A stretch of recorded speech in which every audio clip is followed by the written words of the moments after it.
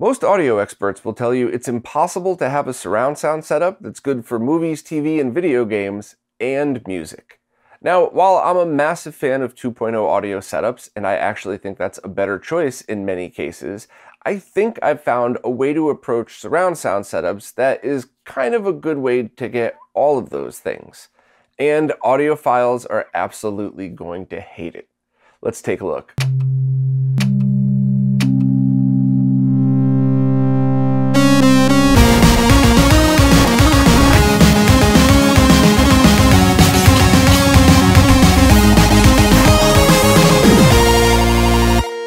As usual, I have to start out with some disclaimers.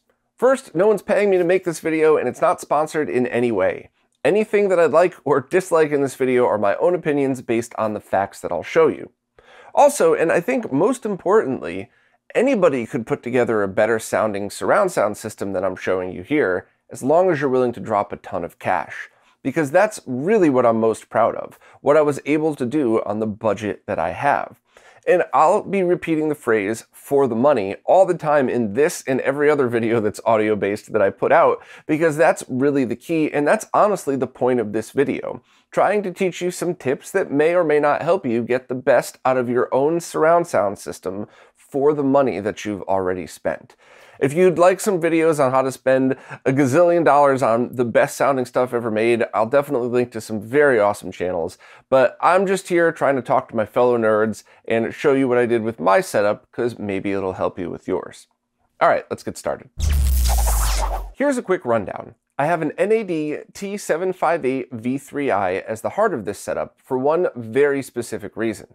I loved NAD's two-channel IC316B amp for music and wanted that exact same sound for my main setup. This amp has an analog bypass setting that makes two-channel analog audio sound like a slightly better version of their C3B amp, but when driving all nine speakers for surround, I'm still totally happy with the sound that comes out in that mode. Unfortunately, you need some cheap accessories for the HDMI ports to work right, but don't worry, I have a workaround I'll show later. For the front speakers, I'm using Ascend Acoustics. I discovered them when looking for magnetically shielded speakers that are safe to use near my CRT wall, and absolutely fell in love with them.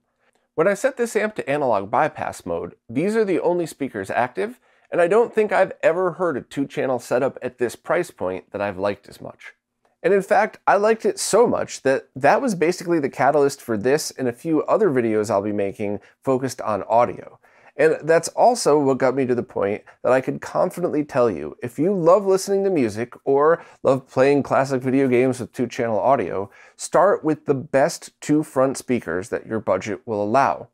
Then when it comes to amp, you could certainly start out with something free or cheap that you find at a thrift store, but when it's time to spend some money, either get yourself a good two channel amp or choose an amp that's surround sound but with music focused features. After experimenting with quite a few different AVRs, I really found that when I set this one to analog bypass mode, that it's one of the best two-channel music experiences I've ever had. Now, once again, to be crystal clear about this, by no means am I telling you to buy the equipment I've purchased. I'm just trying to push the theory that I've really discovered recently of music first. Start by building a two-channel setup that provides you the best experience you could afford at the time, and then worry about your other speakers afterwards. If need be, pick up any cheap speakers for the surround, and then upgrade as budget allows, which is exactly what I hope to someday do here. I would love Ascend Acoustics more expensive models for the fronts, and then move my current fronts to the back, because it's my opinion that I'd rather spend my money where I'm going to use the stereo most, the front speakers. Because while not only is music very important to me, you have to remember that most of the sound in a surround sound setup comes from the front speakers with mostly effects coming out of the rest. Now, of course, you should still take your surrounds seriously, and one of the best ways to approach this is by running your amp's calibration software. At the very least, it'll make sure that the volume levels match for all of them based on where you sit in the room, but some software even helps with frequency calibration. Now, of course, in a perfect world, it would be best to have every single speaker be the exact same one so that all of the sound surrounding you matches, but that's just not realistic. As long as you spend the time to get decent speakers, because remember, you're never going to make terrible speakers miraculously sound good, but get decent speakers for surround, upgrade as budget allows, and make sure they're properly placed and calibrated, you should still have a great experience, even if you're sticking with the whole music first front speaker and amp mentality. But anyway, I just wanted to take a moment to explain where my mindset was and to make sure that the flow of this video stays on track. But let's get back to the setup and show the rest of the speakers. I'm also using Ascend Acoustic for the center channel speaker as it's also magnetically shielded and about the same type of sound as the bookshelf ones, so they kind of match. I added some rubber risers to make sure the speakers are pointed at my head, and that seemed to do the trick. If you have any other ideas on how to angle this, please let me know, but the shelves need to stay where they are to support the CRTs. Up top, I have two Polk speakers that I bought, both because they were nearly half off for Prime Day and because of their convenient ceiling mounts that they shipped with. Also, a friend who's a real audiophile said he thought they were amazing for the price and even uses them himself as outdoor speakers. These are powered by the back channels of the amp, and while they're not magnetically shielded, they don't interfere with the monitors at all. Yes, of course I double checked, since they're both far enough away and have the magnetic field of the speakers pointed up towards the ceiling, not towards the monitors. The surround sound speakers are two ELACs I've had for a while that used to be my main speakers, and I always thought they sounded really good, especially when connected to a decent amp. If I'm lucky, someday I'll get those more expensive Ascend acoustics for the fronts, put the front ones back here to replace these, and probably gift these to a friend. But hey, no clue when that's actually going to happen. I have the subwoofer in the rear corner, which is another thing that'll piss off a lot of audiophiles. I really had no choice though, as the subwoofer as well as the two surround speakers are not magnetically shielded, so they needed to be on the opposite side of the room of the CRTs. Now, I'm just to pause really quick and say that if you've stumbled across this video on YouTube and have no idea why I keep obsessing over old display technology, I'll just very quickly sum it up as this. If you play old video game consoles that didn't come natively with an HDMI output, CRTs are the best way to experience those games with no latency and no motion blur, and they're also a really excellent way to show old TV shows and old movies with a lot of interference or film grain.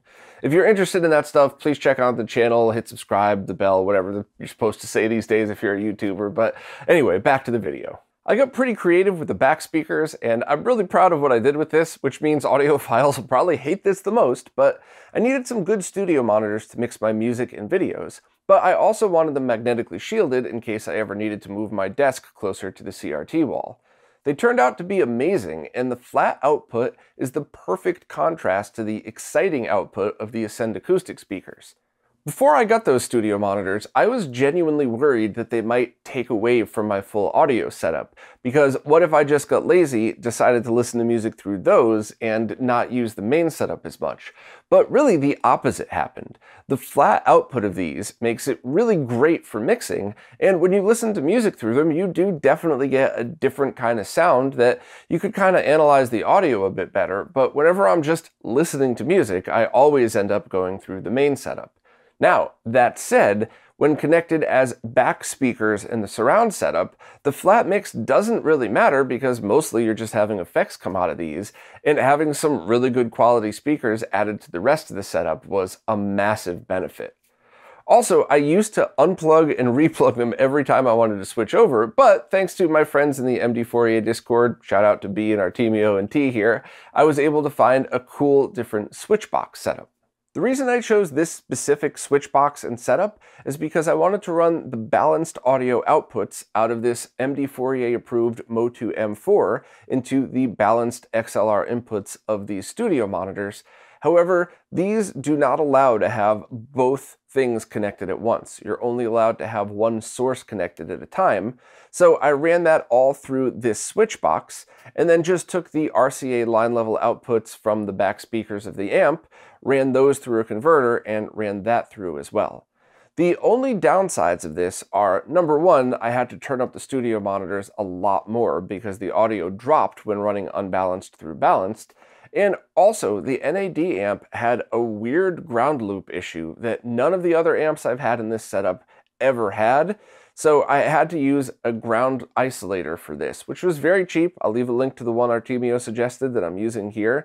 And that totally solved the ground issue. So now my setup is as simple as switch the switch box over to setting A whenever I want to just use it with my PC, and then switch it to B whenever I want to listen to it connected to the surround sound system.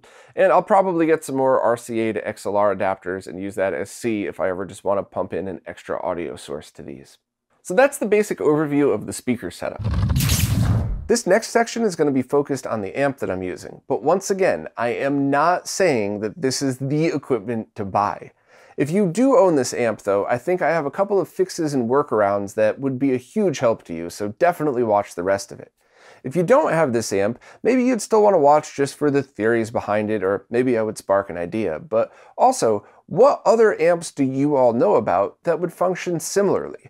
Are there any other decent quality AVRs in the same price point that would perform the same way in that you could have an analog bypass mode. You could have all of the power of the amp directed to just the two front speakers when you're in just 2.0 mode.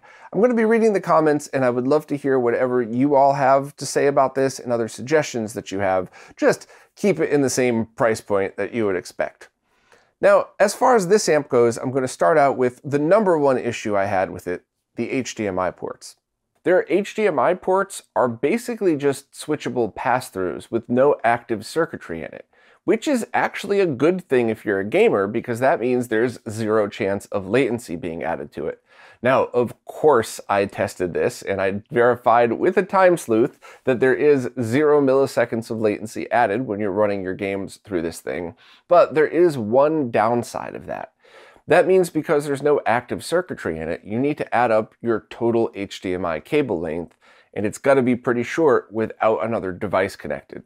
I'll get back to that in a second, but basically, if you have a 5 foot cable connecting your streaming box or your Blu-ray player to this device, and then you have a 10 foot cable running from this device to your projector, your TV, whatever else, you need to count that as a 15 foot cable. It's essentially like a coupler in the middle of it. So I ran into a ton of issues with that. And I tried everything. I emailed NAD back and forth for months, who were pretty awful to me. Gotta say, thanks for that, NAD. But they never once mentioned that about the pass through circuitry, which is weird because it's not a bad thing. It's a good thing as long as you know that that's the case. So the very, very simple fix is just put some kind of powered HDMI device on the output if you're using longer cables, like if you have a projector setup. I used one of these splitters, which was part of the recent video that I had just posted talking about different HDMI devices, and there were a few things that I thought really benefited. First, I ran the power from this splitter to my UPS, my uninterrupted power supply, and have it always powered on 24 7. Whereas the whole rest of my setup runs through different power strips that are only on when I'm using them. But by leaving this on 24 7, it really doesn't matter which device powers up first because this is always going to be there to present the correct EDID. And that is the other couple advantages of this one. This has EDID spoofing built in, so you could tell it that I have a 4K 60 444 Dolby Atmos surround sound system connected, so that all of the source devices read it properly. And it also has things like active downscaling if you want to. Now, if you're just somebody who's watching TV and movies, that's a useless feature that you won't need at all. But if you're a streamer, who wants to game in 4K but stream in 1080p, this is awesome because you could still run everything through your normal setup and then just take the secondary output of this into your capture card, flicking the switch on it and setting it to 1080p. You could also use this for any other kind of issues like PS3 compatibility or any times that you'd want a device like this used. So overall, this was a bonus. And while I don't think it's a problem with the NAD amp, I think it's a serious problem that it took them six months to communicate that to me.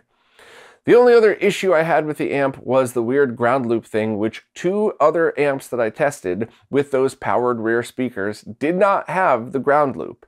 Now, of course, that probably means there's issues with the wiring in my house, but that also means the other amps probably had some kind of ground loop protection built in, whereas this one does not. So once again, that's on me, not on NAD. However, I do really think that a less than $20 filter device was a great fix for it, and I'm totally happy with that solution. So other than the workarounds, now let's just go through and I'm just gonna feed the output to my capture card and let's just check out, not all, but a quick rundown of some of the features that it has. All right, so let's just walk through the menu options and I'll give some tips that I figured out as I went. First are the DSP options, the di digital signal processing, and the listening mode is what you're really going to want to worry about for different sources. You have a whole bunch of different ones, including analog bypass, which is what I almost always use when listening to cassette, vinyl records, old video game consoles, or anything that I really feel like I don't want any filtering. I want that raw original analog sound. I think this is what really makes this stand out from different amps that I've tried over the years. But tell me your thoughts below. Maybe I'm kind of missing something here. Of course, there's just standard stereo mode, which is still a two channel mode, but with the digital signal processing. There is enhanced stereo, which is basically the same thing, but then you could also choose which other speakers you want active. I'll show that in a second. Uh, and then there's other modes that you're going to want to go through and read the manual and see how they apply to you, or basically just listen as, as you go and kind of go from there. Now, using Dolby Surround or things like the Neural X might be imperative when you're using older surround formats like Dolby Pro Logic, but I will have a completely separate video on that soon. So not trying to get you to watch more than one video, I'm just trying to be respectful of people's time in case you don't care about that stuff. So stay tuned for that one. But I'm gonna leave this set to analog bypass as always for my analog inputs and kind of move on. Tone controls is something that I also like to do I turn on tone defeat, which basically disables all of the tone controls because I want to rely on the source and anything else that is not changing the signal. I basically want to keep this as true to the original as possible. Once again, let me know if you think I'm wrong for doing it, but that's certainly how, at least today, at the time of recording, I prefer to listen. Going back, zone controls are basically if you just want multiple zones, which I don't have here. Uh, going through the setup menu, there's a bunch of stuff here, and as you've probably already noticed, there really isn't a good flow to this menu. I'm not really sure why they set it up like this, and also, it doesn't at all match what the cell phone app version is, which is kind of dumb in my opinion. They should both be identical, so whatever. But source setups are basically, uh, all you need to do is select which analog or video input matches the source name, this is all well done. You could change anything you want around it. I think this is a really good setup for this. I think NAD did a good job. Um, and I also like how you could have different analog gain settings. So if you have one component that's much quieter or much louder, you could adjust that right here. Uh, same with the digital stuff and everything else. Speaker setup. Uh, this is where you would set which speaker is which. And this is also a setting for enhanced bass, which depending on your setup, you may or may not like this one. Um, if you have a subwoofer and you want to add more bass, turn it on. I usually leave it on, but there have been some cases where I went in and made sure to turn it off. Also, if you're using Dolby Atmos speakers, make sure to set where they are here and the size of them as well. Speaker levels are things that you don't need to worry about if you have the Dirac Live room calibration on. Not sure why that was just off. That should have been on this entire time, uh, which is yet another reason why I wish the cell phone app matched this. But I'll get back at the end to showing how to do that room correction. I'll just show a very quick overview of it. There's already many other videos out there that, that show it. Uh, and speaker distance also is you know exactly what you would expect if you use the room calibration software. You don't need to worry about that. The only other cool trick is if you turn off the calibration and then you uh, hit the test button on your remote control, you could go through and have a test pattern play whenever it is that you want to test your speakers. And I find this really handy because often the RCA connectors that I use to connect the rear speakers kind of get loose sometimes. So before I go to watch a movie in Dolby Atmos mode, I'll go through each one to make sure all the wires are connected. Here is the other really important part that took me a minute to figure out. The back speakers, um, the so not surround, but back, can be selected here. And the way I have it set up is to go into the Dolby Atmos height speakers, the height ones. You need to do this in order to tell the amp which speakers are being amplified by the amp itself and which speakers you're using the RCA outputs. The way this one worked, I have the RCA outputs run from the side of the amp, as you can see here. I'll have arrows pointing to where I plugged it in. And I have that run all the way around the room through the wall so you don't really trip over it in certain places, back to those powered speakers that I showed. And then I have the height speakers powered through the back parts of the amp. So hopefully everything on screen makes sense to you now, but let's just keep going through. And that's definitely something that uh, wasn't so clear to me in the manual. Trigger setup is if you want it to power on with other components. Listening modes are different profiles that you can select that I don't like at all. I really wish there was just an app that made it easy to switch, but as I showed before, you could just press the button right on the amp in order to change the listening mode, even if you don't have your display powered on. Uh, these are all just the basic Dolby Digital and other enhanced setups. An enhanced stereo is the other thing that I just wanted to show here.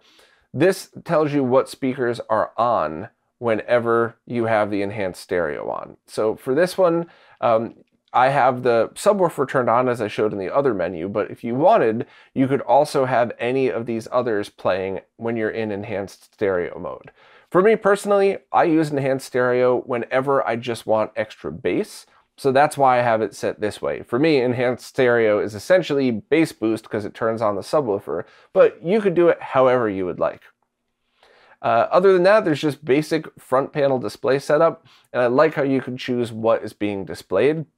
You might want to consider these two because I always like to have the audio codec shown so that I know exactly what format is playing. And that's how I knew that I needed to do a factory reset on the amp a few times, is when I was playing something that I knew was Dolby Atmos and it showed PCM stereo or vice versa. I knew the amp was getting a little wonky, so I did the factory reset. So that one's important. And of course, it's really nice to know what source is going through, so that's always one that you want to put on.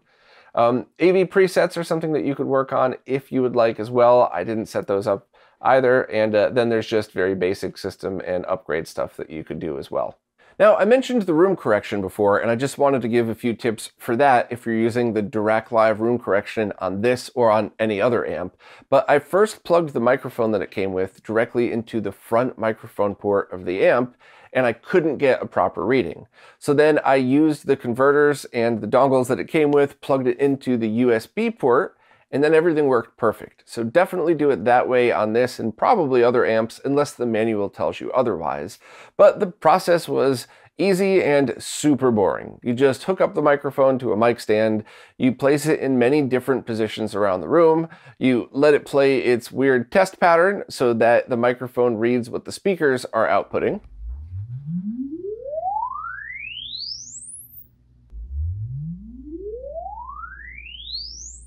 And then that's basically it. Just make sure to back up and save the file because there were a few times that this amp crashed on me and I needed to do a factory reset. Still don't understand why that happened. However, the factory reset took like a minute restoring this calibration file also only took about a minute, which is a big relief because it's boring and takes a long time to run that calibration. But the fact that I was able to set this back up right the way it was is a very cool thing. So I didn't really care that it crashed. It was only twice in over six months, but I've never had an amp do that before. So that was kind of weird. The only thing that would be cool is if NAD did a full backup and restore, so you could have all of the ports that you labeled saved as well. But overall, not really that big a deal. So I hope this video was able to give you some tips and maybe some perspective on building your own setup, especially my whole opinion of music first, because I've seen so many times in the past people try to make surround sound setups sound good for music, but I really do think what I've been experimenting with of starting with a setup that's great for music and then sort of adapting that to eventually get to a Dolby Atmos setup was really the right move, at least for me. If you're somebody that only watches TV and movies, most of what I said here was probably just a waste of your time, but hey, at least maybe you were mildly entertained by all of it. Also, I realize this NAD amp is very expensive and probably out of the budget of many people, but if that's the case, just start with two really good bookshelf speakers and kind of move on. For me personally, I spent my whole childhood with Cousin Scott, twisting together wires and soldering stuff together to make our fake 4.0 surround sound systems because that's the only option we had.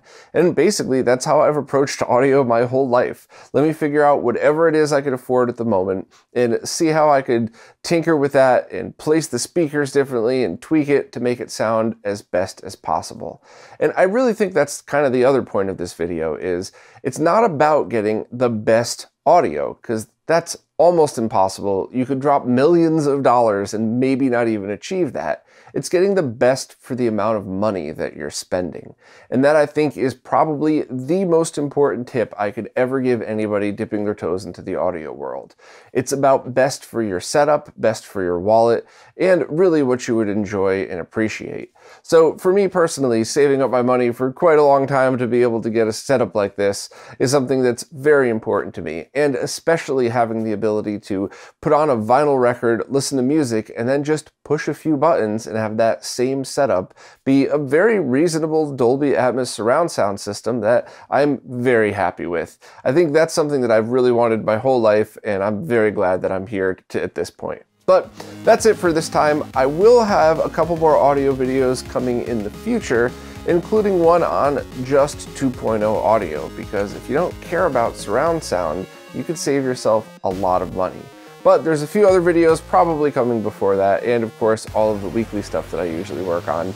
And if you are a fan of the channel, please consider subscribing. The monthly support services are also what keep all of this going, including just doing things like clicking on affiliate links, as well as buying the same stuff that you would have bought anyway from eBay and Amazon at the same price, but clicking through our affiliate links so that we get a small cut. That's what keeps all of this stuff going, so thank you to everybody who supports, and I'll see you next time.